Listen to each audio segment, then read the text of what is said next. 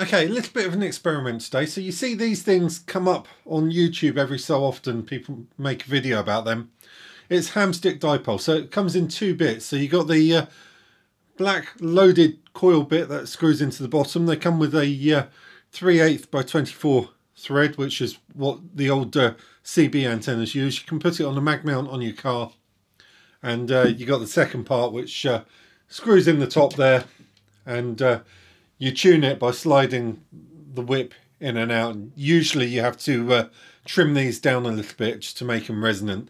They come in all sorts of uh, flavors. So you got um, they start off I think at about four meters, and uh, I think you can get them for 160 meters. But they're obviously they're inefficient. They're quite short on that band, so they become inefficient and uh, very narrow banded.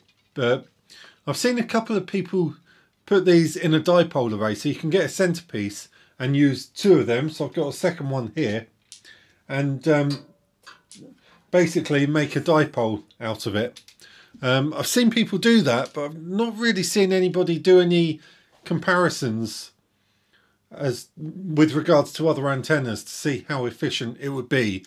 So the plan today is I'm going to build one of these and um, I want to test it compared to my main station antenna now the reference antenna, it's an ultra beam rotary dipole. So it's basically 6 through to 20, it's a rotary dipole. And uh, when you get onto 30 and 40 meters, it folds back on itself. So effectively it becomes a shortened, I guess, linear loaded dipole. But uh, it's mounted quite high. It's about 13, 14 meters or so above the ground and uh, I quite often do live streams from here at my home QTH, and uh, I regularly get 5 9 plus 30 reports. So there's several different varieties of these um, ham sticks. So this is a, actually a shortened one, which is uh, this is a 40 meter one. This is going to be a little inefficient, but uh, I guess okay if you want shorter, you know, if length is a problem. I've gone for the full size. Now, the full size either comes in a 250 watt version, so what I'm setting up today should be absolutely fine with any of the 100 watt radios on the market and even the 200 watt radios. So if you've got the um, MP version of the 101D that I've got behind me or uh, the new Icom that's coming out, you should be able to run those with that. They also do a high power 600 watt version. So I've got two of the 250 watt versions. Uh, they cost about 20, 25 quid, depending which one you go for. Um, the high power ones I think are about 40, 45 pounds. They're a bit more expensive. Um, you can get these plastic dipole uh, centers here. These uh, I think I only paid about nine pound for that. I got two of them. So this one I put on the temporary mast. My thinking is this would be good for um, like POTA or SOTA where you got limited space. You could either put up that mast or put it on a tripod the other one I've actually bolted onto this. Um, this is a one and a half inch or one and three quarter inch aluminium pole, which is what we're going to be use, using for testing. Uh, just a couple of bolts through and uh, attach it onto there and we'll stick it up outside. Um, if you're doing something more permanent, they do do uh, steel attachments as well, steel uh, dipole mounts for these, but uh, this is just temporary for testing. So we'll get it up outside and uh, then we'll get on there, do some tests and see what we find. Right, so we're all set up. I've got it wired into a spare coax feed coming into the shack. I've got it on my uh, FTDX 101 behind me here. So we're going to uh, do a side-by-side -side comparison. So tuning, I did have to cut the whips down to uh, shorten it when I first set it up, it was resonant about uh, six and a half megs, so it was below the 40 meter band. Had to cut a little bit off, uh, cut both sides equally, and um, the SWR was a little bit high. I tuned it about two meters or so, two to three meters, so a little bit above head height, um, above the ground, and the SWR was quite high.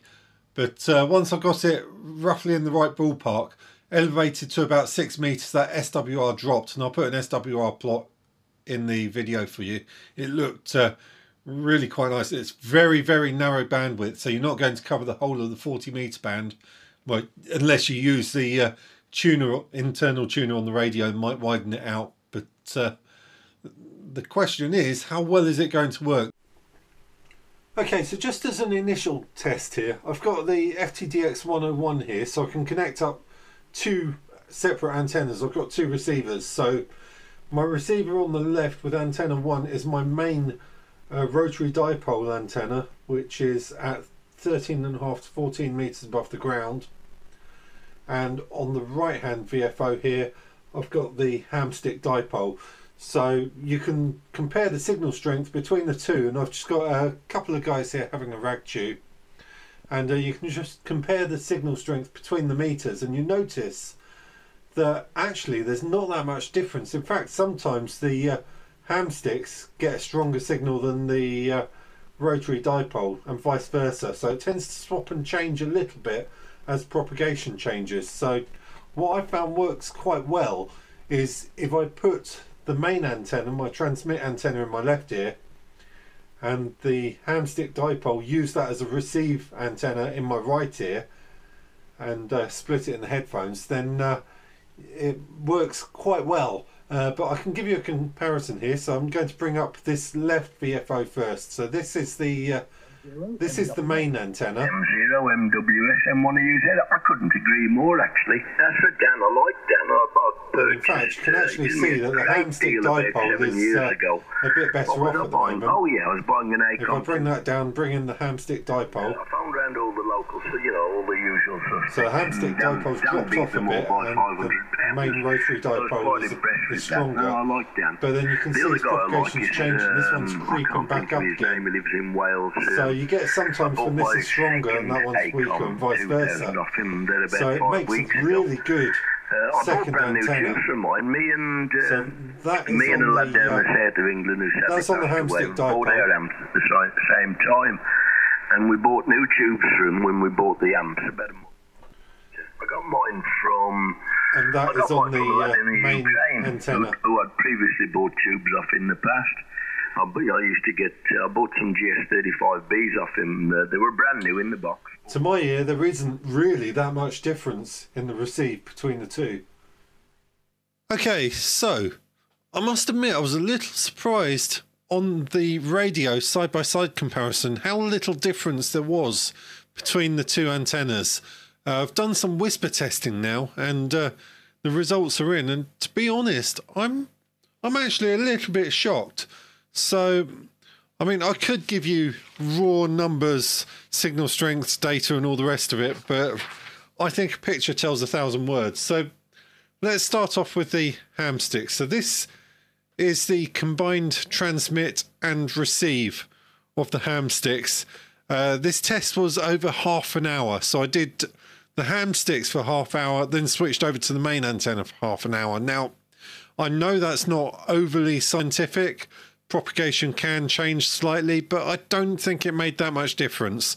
So if we take a good look at this, we're we're getting out all over Europe, and there's uh, one up into Iceland as well. Now, if I switch on to the other chart, which is the same chart but for the main antenna, which was 30 minutes later, again up into Iceland, there's a couple of extras going out past uh, Sweden into Finland and uh, slightly further south into um, Monaco, Barcelona, um, Spanish region. So that could be down to propagation change in the over the period of the hour that I was doing this test.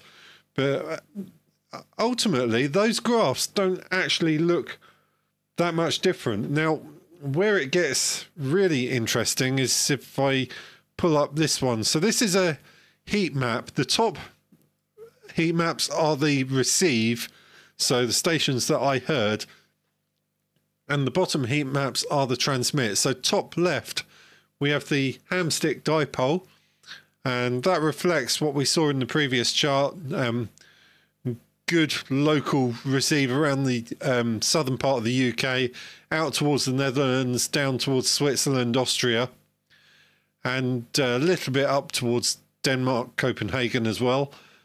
That's on the left on the hamstick dipole. Top right is the main antenna.